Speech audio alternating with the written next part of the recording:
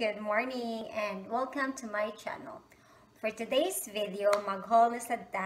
Yes, um, Forever 21 haul and boutique haul. Um, Nag-shopping me last weekend sa akong bana sa Forever 21 and sa boutique store and akong ipakita sa inyo ang akong mga napalit and di na magdugay at nagsugdan ang ako ang mga um, napalit sa Forever 21 and sa boutique store. Um, naa sila sale good um, sa boutique store, ato lang na ng boutique store, naa sila sale basta every Friday, Saturday, and Sunday, half price ang ilang mga baligya. And ganahan ko basta half price. So, ganahan ko mamalit, ganahan ko mag-shopping basta na ko makuha ng mga good deals and good quality items. Then, barato pagid siya. So, muna siya, usa ka bag. Mga nakakoy sanina and mga um, ug-ubay pa. ug-ubay pa. So, ako na ipakita ang blouse usa, blouse. Mo ni siya. Blouse, um, it's color beige. Ganahan ko kay it's a round neck. The brand is Wild Fable. That's the brand, friends. Wild Fable. And it's a, well, brand ni siya sa Target store. And ganahan ko sa lining niya, tanawa, vertical lines. And naa siya um, crochet din he sa left side. And ang iya gani, it's a sleeveless. Ano no, it's not a sleeveless, um, it's a short sleeve. Ang yang sleeve gani, friends, ganahan ko sa iyang mga, siyang edges kay, inani gani ang yang design. I don't know sa tawag ani niya, but curve-curve gani. Or wavy, ana ba? Ganahan ko, both sides. Then, sa iya sang bottom, nawa yung bottom, wavy-wavy. Ganahan ko min ana. And, first stretchy, stretchy, very comfortable, suoton, and beige biya, mostly, um, mag, mag-complement sa mga, sa imong skin. And, mabagay siya tanan. So, ang presyo ani niya sa store is uh, $5.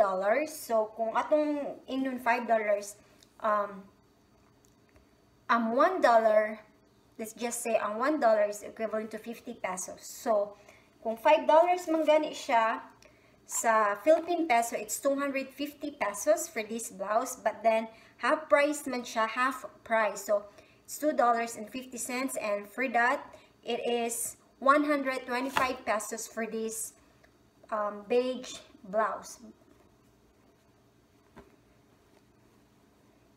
So, nakasave ko. 125 pesos is very cheap. I mean, good um, good price siya sa kinina blouse. Then, ang sunod na item is pants. Siya, it's white pants. Wala man good kay ko Okay. Naara ko'y usa ka buok na white pants. Pero ako man siyang ihatag sa akong pamilya kay napulan ako. um, basta ako siyang ihatag sa akong pamilya. So ako siyang ibutang sa balikbayan box. So, nipalit ko og another white.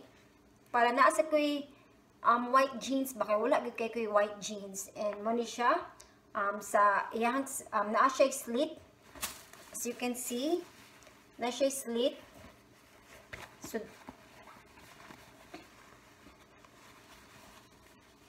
siya na siya slit. So, ganahan ko. And, ang brand niya is Wide Fable. Yeah, mostly, ang, basta sa boutique store, mostly their items um, are from Target store. Um, one of the well-known stores here in America. And, ang akong naganan ani niya, friends, kay high waist. It's a high waist jeans, high high rise skinny. So muna akong mga ganahan ng mga jeans na mga high rise skinny. Ganahan kong mga high rise kay I'm a petite uh, woman so I need high rise jeans para sad nga ma feel na ko this, this it ma feel para sad ma um, ma-emphasize nga taas gani ka tan-awon bisag dili basta mga petite woman pit, petite women na um, needed na to og mga high-rise jeans and mga crop top. May siya. Then, ang presyo ani niya is mostly sad noon ang mga jeans nga akong pamaliton. Mga high-rise man gyud and bisag taas gani siya sa ako alapas gud siya sa ako ang tiil. I need to cut this some part of it. So okay naman kung ako i-cut. Nindot nun kung i-cut kay um sa tawag ana sakto nimo ba masakto gud sa imo ha ang presyo ani niya is $5 so it's, you know, as what I said, $5 is 250 pesos. Yeah, 250 pesos. Then it's half price, so it is $2.50. Then for the Philippine peso, it is 125 pesos for these jeans. Oh my gosh. Well, asa mo ka makapalit o ka ng bag-o pa na jeans, then well-known siya nga brand na 125 pesos. Diba? It's really a good deal, friends.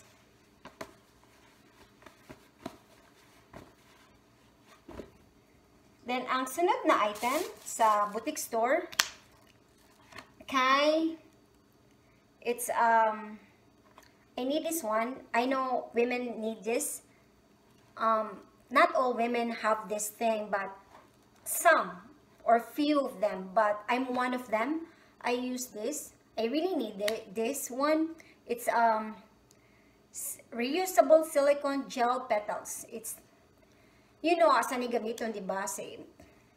Naamagod ko yung mga sanina na ako yung mga dresses or blouses na ako yung mga tops na needed na ko magsuot og inani kay I'm one of those women na dili gani ko ganahan na makita ang strap sa ako ang bra dili ko ganahan ana and muna nga gana, needed na ko og mga inani. So, kini siya kay $5 as you can see. Ang color niya is tan, nude. Nude colors.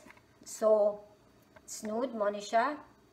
Then, reusable friends. So, pwede nimo siya magamit hantod na mau, dili na ma-stick sa imuhang dili na mo stick ba? Di na siya ma pwede na nimo ilabay pero it's reusable meaning reusable magamit pa nimo siya. Hantod nga mawala na ang iyang hantod na dili na pwede suoton ka nang matanggal na siya ba? So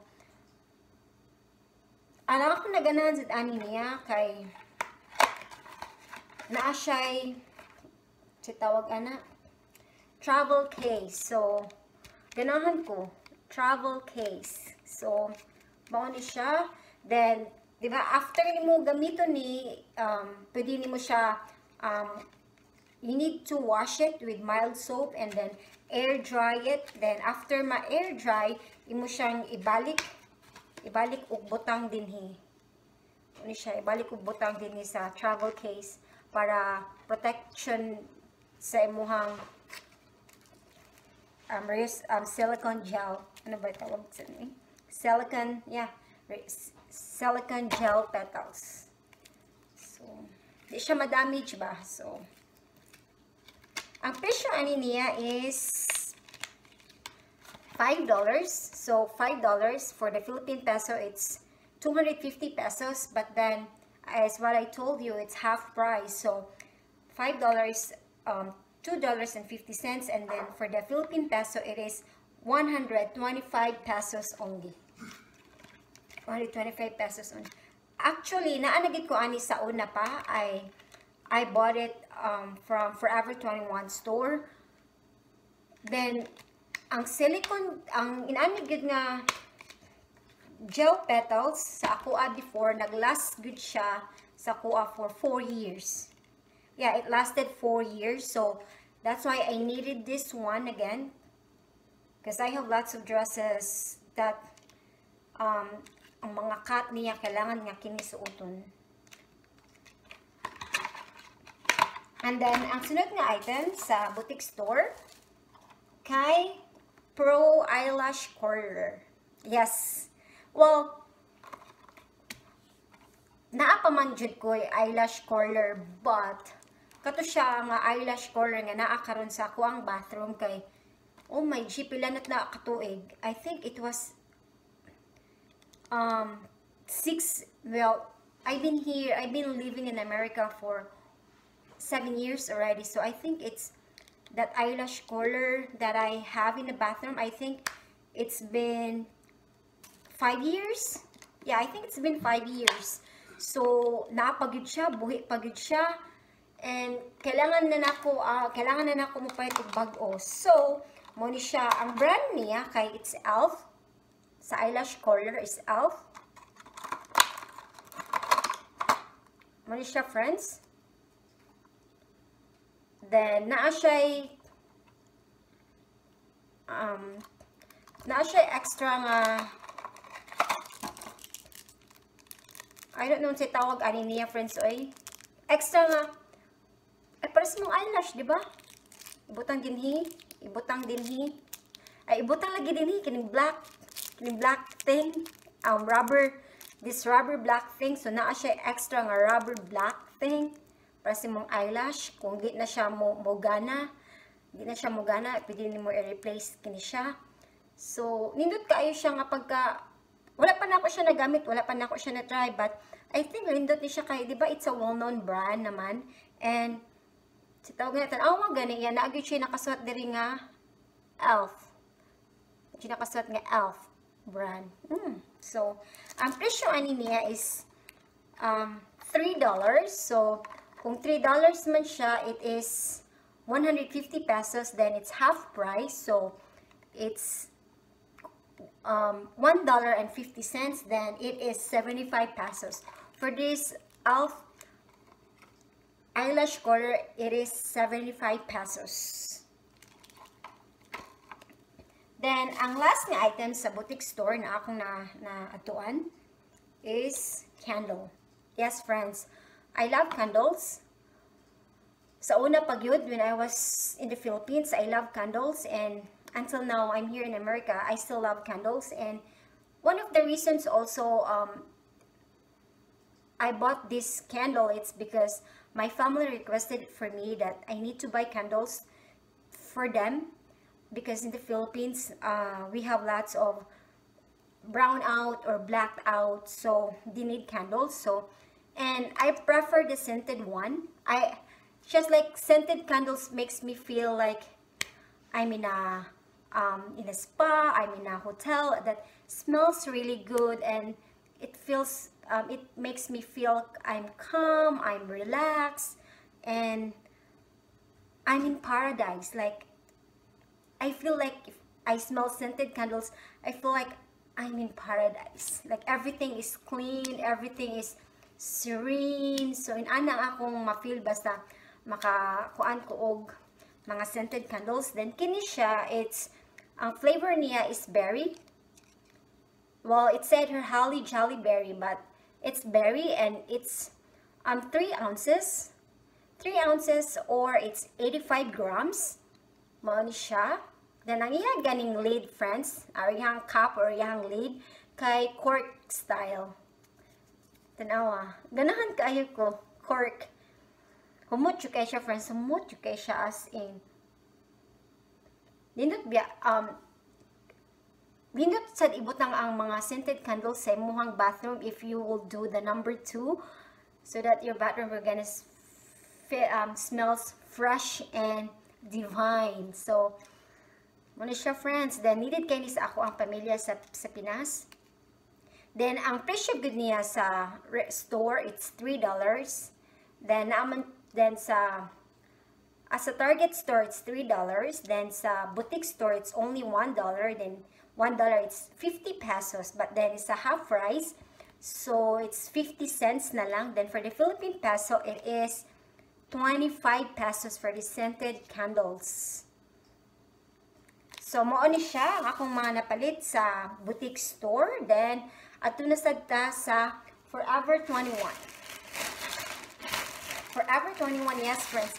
Forever 21 is one of my favorite stores not only in the Philippines but also here in America. I love Forever 20 for Forever 21 not because it is a well-known store already but because I love their um that very um kuan man good siya friends kanang sakto ba mostly ma for Asian women good siya sak dili good siya nga tanan nga for Asian women but sakto gid siya sa mga petite ladies ladies like me so mo nang mas prefer ko sa Forever 21 And barato na sad sila if naagod sila i-sale. Kung mag-sale ang Forever 21 friends, oh my G, it's really, really worth it. Everything is really, really worth it kung mag-sale man sila. So, usahay na sila um, mga sale nga 50% off, 30% off, or buy one, get one. Just like, naasad sila ka ng clearance items na um, napaginain mga clearance items nga clearance na gani, sale na gani, ilap na pa yun siya additional sale. Inana ba? So, very worth it, friends. So, that's why one of the reasons why I love Forever 21 store. And, ang ako mga napalit sa Forever 21 is 1, 2, 3, 4, 5. I have only 5 items. So, nakapalit ko um, basta mag-shopping gani gid kung ako yung unahong tanawon ang mga clearance items guys as what I've told you before clearance items muna na siya mga discounted items sale items nila so mo gina akong unang tanawon clearance just kung mo add to first so akong pakita ninyo first mo ni ang resibo nako sa Forever 21 taas kayo no pero akong napalit lima na ko taas kayo ang resibo nako Uh, Forever 21, it's Rosedale Center. Ano siya? It's Rosedale Center.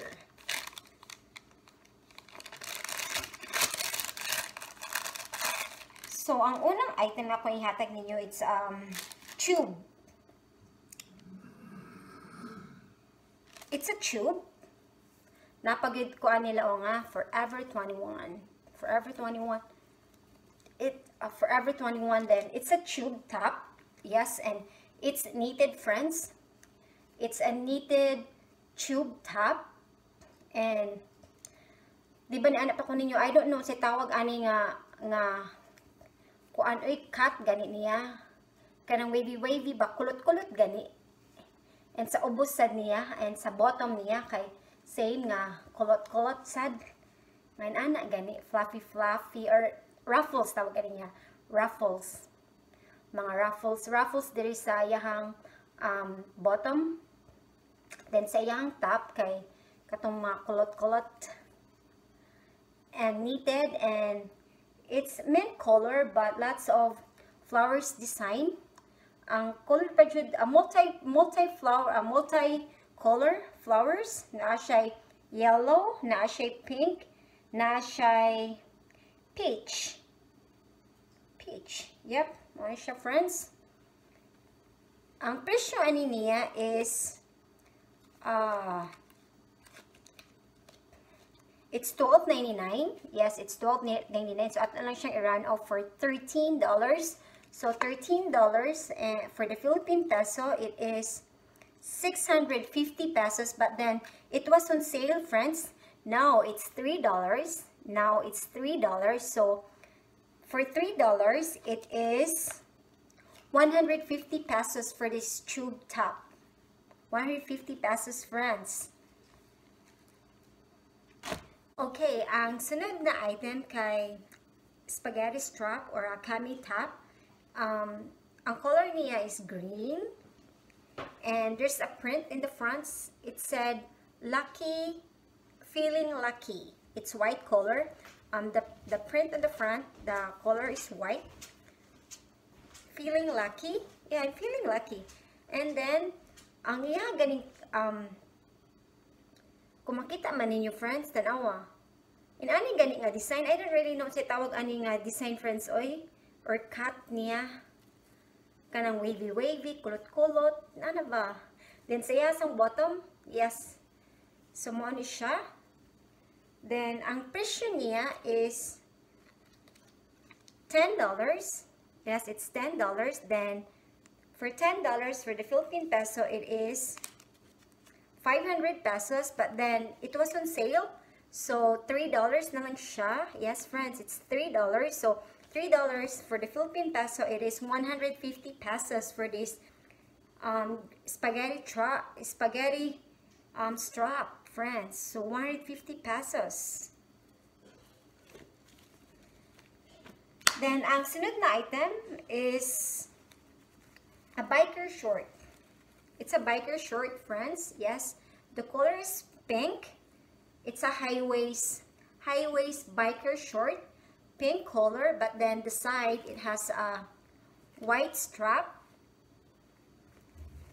Ang side niya. Then, ang presyo niya is $6. It's $6.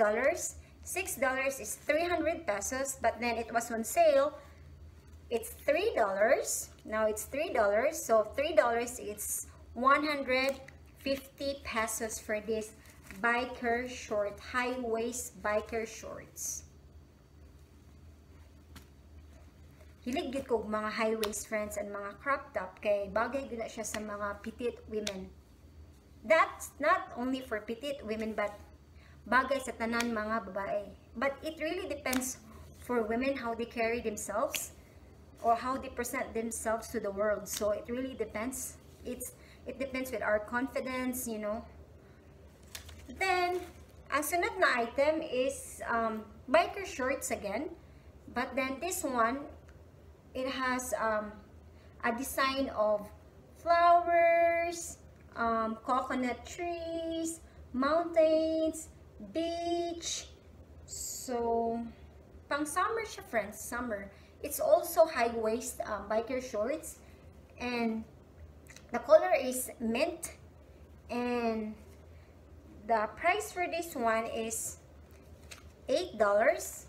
$7.99 but I always run it off with $7.99 so it's $8 so for $8 for the Philippine peso it is 400 pesos.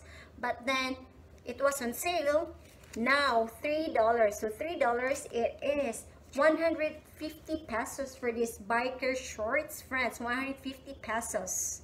Very worth it then ang last nga item nga akong nakuha or akong napalit sa Forever 21 is um, it's a skirt. It's um army skirt. Um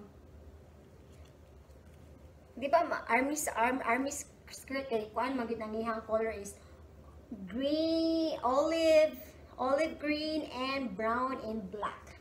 So ang naganahan ako ani niya friends kay high waist skirt siya friends and um naa siya para sa kuan gani nimo sa belt.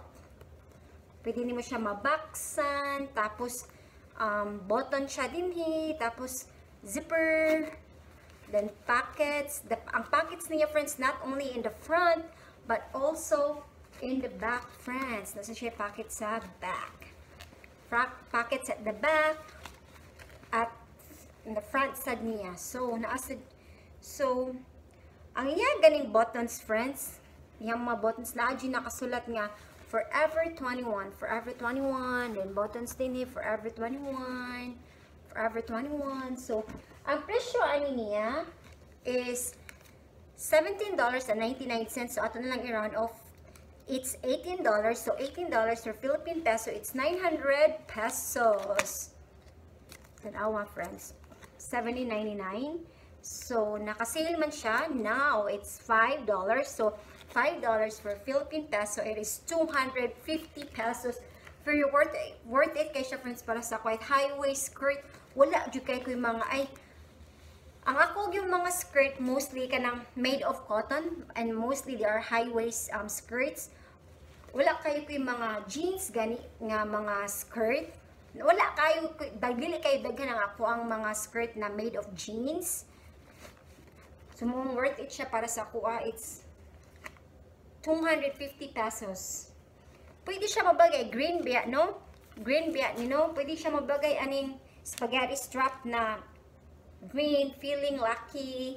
Kini bagay siya sa uton. Or kini siya nga green, bagay siya suoton ani or kini um kini siya nga pink bagay siya bagay man siya ani sad dili ko ganahan kay print diri print sad sa ubos di ko nagmahin ana gusto ko lang kung print man akong itaas ang akong bottom kay plain so mas bagay ni siya sa kini so yes mo ni akong mga napalit sa Forever 21 store and sa boutique store. So, I hope you enjoy my video today and thank you, thank you so much for watching friends. Have a good day everyone. Bye-bye!